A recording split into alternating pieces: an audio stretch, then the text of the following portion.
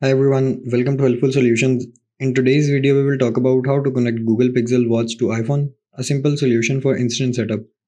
Connecting a Google Pixel Watch to an iPhone isn't officially supported by Google. The Pixel Watch is primarily designed to work with Android devices, particularly those running Android 8.0 or newer.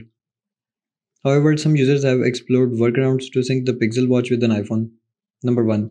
Use an Android device for initial setup. Temporarily pair the Pixel Watch with an Android phone to set it up Install the Fitbit app and sync your watch data.